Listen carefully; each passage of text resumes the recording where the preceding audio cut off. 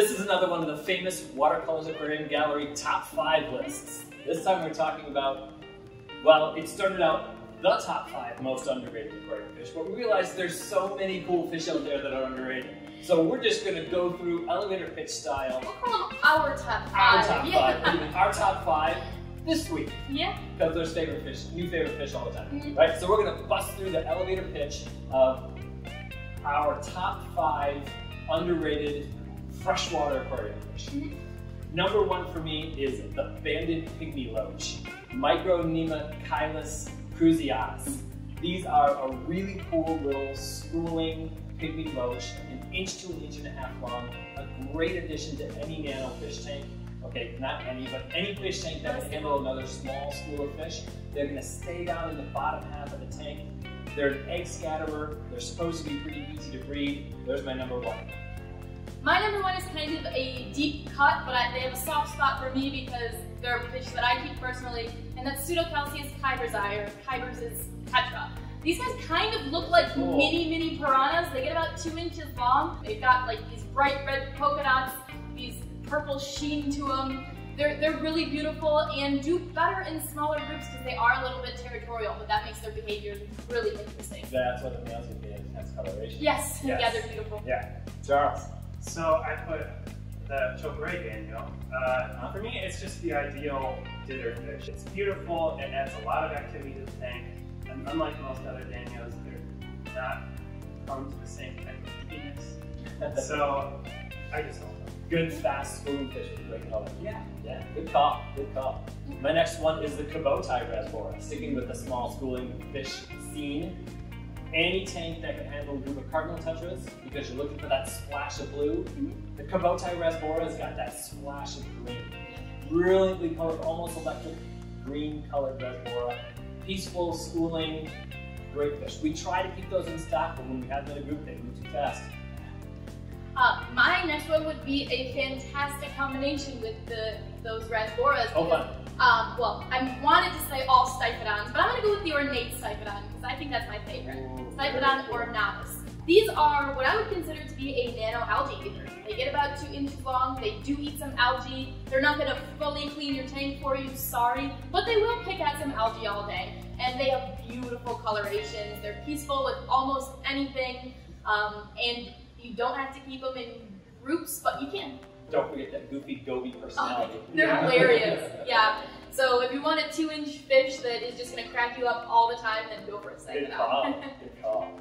My next one is the Hexazona barb, Desmopuntius hexazona. Of. If you want something with the personality of a cardinal tetra, but something a little bit more in size like a serpae, I think that's the way to go. Oh yeah. Oh yeah. Peaceful but can still hold their own. Yeah. Yeah.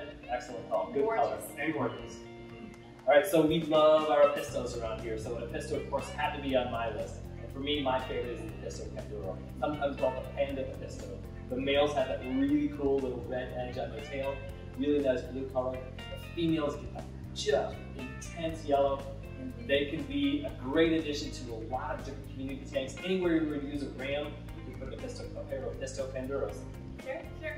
Um, my next one, I'll go between you because we probably have your Pisto next. um, I have the Congo puffer. This is a smaller puffer. They only get to maybe about six inches, but they're ambush predators, so they're really not super active. Um, if you want to do a single puffer and you really can't do more than a 20 long or a 29, this is the one to go for. And they have a really great red coloration to them too, which is beautiful and, and unique among other puffers. Body shape too, it, it's so different than what we traditionally think of as a puffer. Super fun fish. Lots of great puffer I personality. really like this. Definitely a species tank, but still Yeah. very cool fish. Mhm.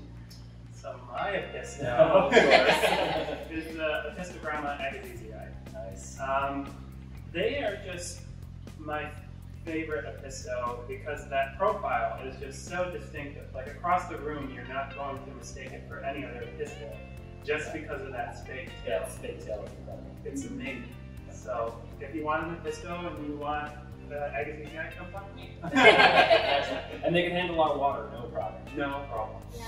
People need to not be afraid of Apistos living in West Michigan. Yes, there are some you have to mess with the water, but many of them are just fine My next fish, speaking of dwarf cichlids, I'm sticking with that theme for just a minute longer.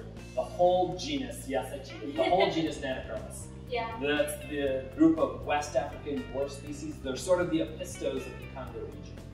Great in pairs, great little personalities, a great addition to a tank like this. Um, they love plants, they don't hurt them, they're really not going to mess with schooling fish that stay out of their territory. So I'm going to just cheat and say the whole Nanochromis genus needs to be better represented. Yeah, I can't argue with that. I can't argue with that. But if you're gonna say that, then I should just say all buffalo heads. Because I was gonna just stick to Casuarius, that's the one that I keep. But super hilarious personalities, similar to goby personalities, and they have that sort of underdeveloped swim bladder like gobies do. Um, really interesting behaviors. In, in a planted tank, that's where they're the most bold, I believe, because they've got really good cover. They want to hide if they can, and that limits their aggression a little bit too. They will pick at plants a little bit, but don't tend to eat plants. They just mainly eat dead leaves. Really interesting pair behaviors. They're true, like, bonded pair that stick together and work together. So that's something that you should try if you've got robust fish in your tank and you're looking for a cichlid and maybe something that's a little bit more bold, a little bit bigger than an apisto. And you, I kept those years ago. They were so It's just a cool. blast. They're Now, great. I can only describe them as like goofballs. Like, just the, watching them make problems and then try to solve them is Yeah. so Right. fun to watch. They're almost, if you're gonna describe a fish, as like emotive. yeah, Excellent choice. I like it. All right. So my next one is uh, Nothobranchius uh. Well done. Uh, did Achilles. A lot of people would say that the Nothobranchius rachovii is like the most beautiful. Racovia, yes. Yep. is the most beautiful freshwater fish. I just like the eggerzides better.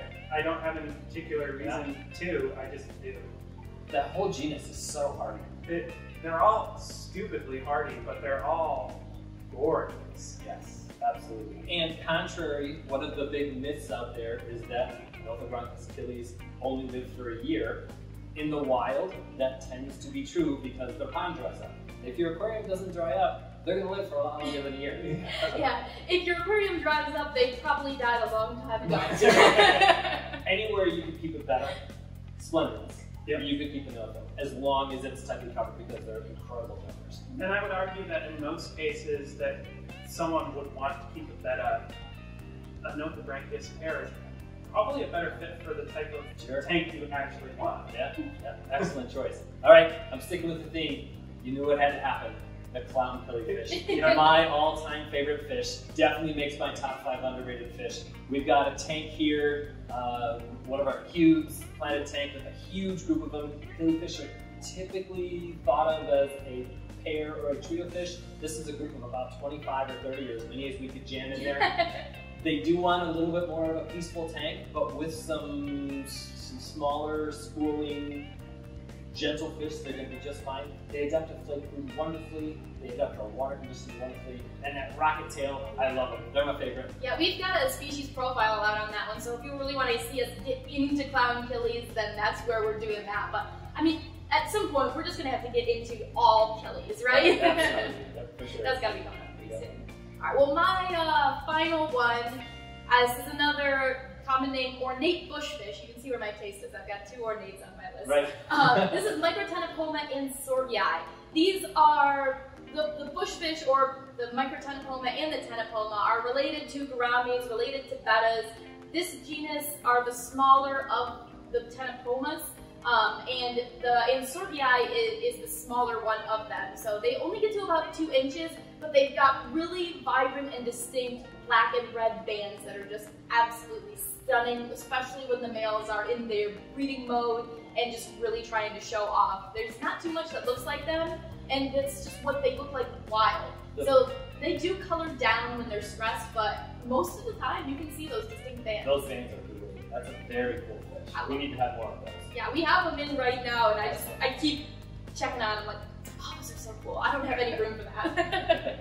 It's not a fish that I would keep myself, but every time I walk by them, I'm like, Man, there's that's nothing cool. that Yeah. looks like that. They're so. you do a double boy. take. Yeah. All right, what's your last one, Charles?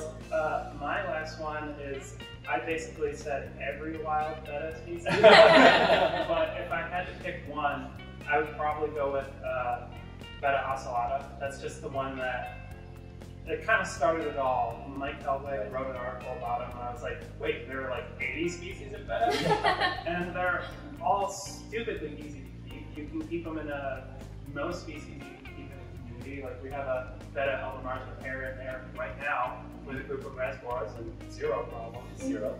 Betta unimaculata in this tank right here. Yeah.